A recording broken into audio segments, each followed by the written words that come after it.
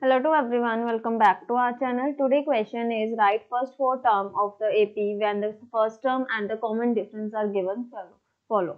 The first term is minus 1.25 and the, the common difference is 0.25.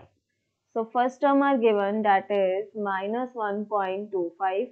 Need to find second term. Second term is equals to first term plus common difference which is, is equals to minus 1.25 plus here common difference minus 0.25 is equals to minus 1.25 plus minus minus 0.25 is equals to minus 1.50.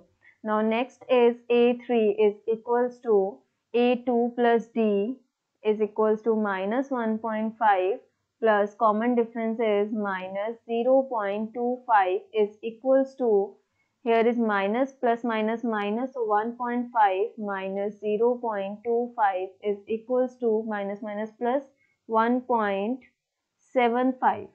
Now next fourth term.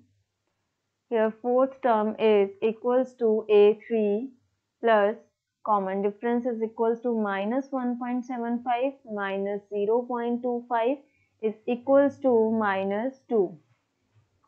So the four terms are your answer is 4 terms are minus 1.25, minus 1.5, minus 1.75 and minus 2. Thank you.